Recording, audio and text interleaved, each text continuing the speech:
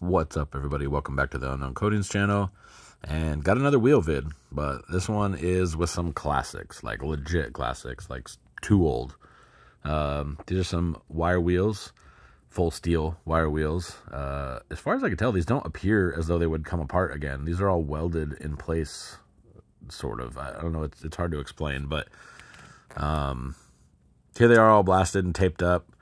They have a really big valve stem hole, which is normally how I hang wheels, obviously. And I try to not do it on steel wheels, so we ended up just running wire around the outside of these. Um, hitting them first. I mean, these are super corroded. I mean, the pitting in them is terrible, terrible.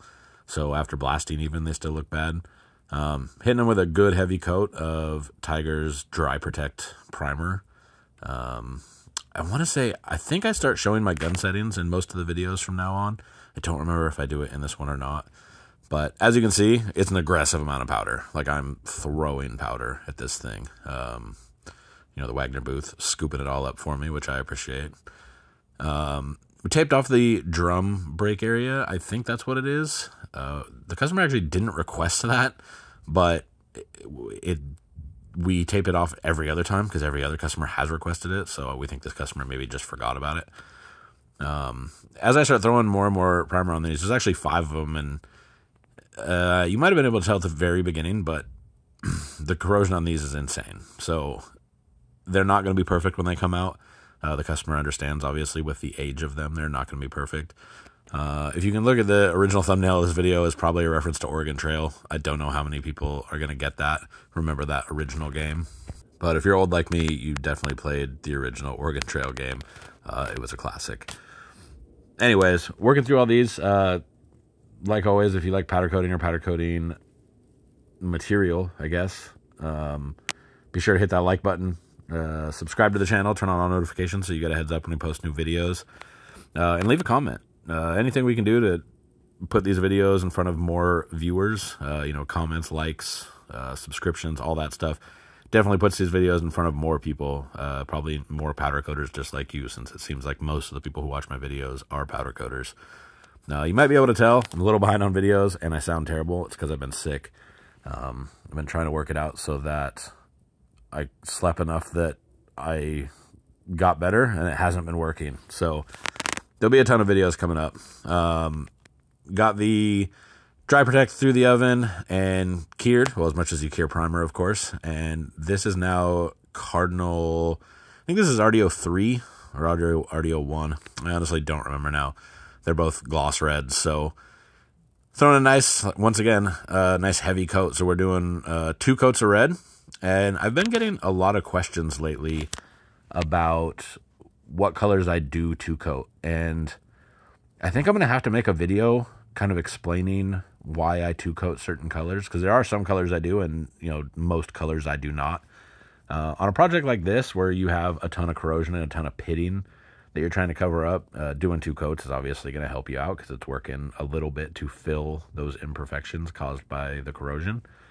Um, but there's more to it than that. Uh, certain colors don't look good when it's only one coat, unless you can put one big heavy coat onto them. But I, there's a lot of risk involved in that, in my opinion. You get, you know, framing or edge building. Um, you could even get like a sag or a run depending on the type of color. We're doing the two color or two coat process where you put some on, uh, flow it out just a little bit, pull it out, let it cool, and then spray another coat on. Tends to not have any of those problems associated with it. So you'll see me do that through this process quite a bit um, and on this channel quite a bit. Like I said, I, I think I'll have to make a video kind of explaining why I do it and why I don't do it so you guys can have a little better understanding at least, because uh, it's definitely been a, a major topic in my comment sections lately. So this is after the red is applied, before it goes through the oven. Um, oh yeah, here's my new mask from Parcil. Uh, i have more details about that coming up. I've had a bunch of questions about it. So put it in the oven, let it flow out a bit. Uh, oh yeah, now you can see my settings for the, well, this is technically the third coat, the second coat of the red color.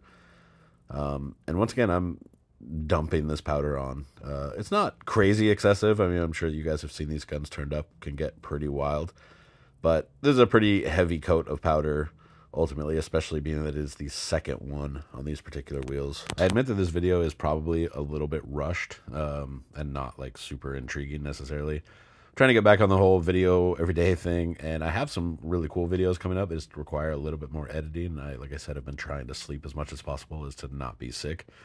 So this one will be up tonight. Uh, I got a pretty cool video tomorrow with black chrome coming up, and then I actually have another one with custom mixed illusion colors that goes into a little bit of detail about uh, what you can and can't mix. Um, also, I'm trying to figure out which days are going to be best for doing lives for you guys, uh, the live Q and A's. I'm going to do at least one of those uh, here this month, uh, and then I'm going to try to get into doing them once a week after that. Um, so if you guys have an opinion on what days uh, would be best to do live Q and A's, I'm going to be doing them in the evening, of course, probably I would guess like seven o'clock Pacific Standard Time. So whatever time that is where you are. So in the comment section, let me know what day would be best to you guys uh, for for me to get in front of you guys and be able to answer some of your guys' questions.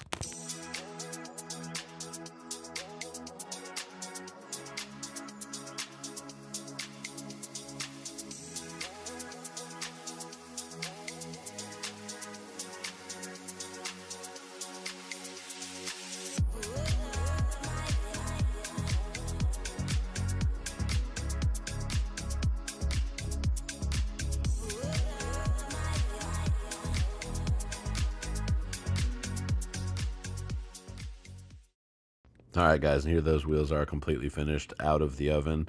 Uh, actually came out a lot better than I expected. Like I said, the corrosion on them was pretty horrendous, but the nice, good, heavy three coats definitely left these things looking, you know, significantly better. Uh, you can still see a bit of the pitting on them if you look up close, but leaps and bounds better. Uh, customers already picked them up, was completely stoked on them. Um, you can see here after I pulled the tape off, this is all like the drum area I was talking about. Uh, hopefully you guys enjoyed the video, and we'll see you next time.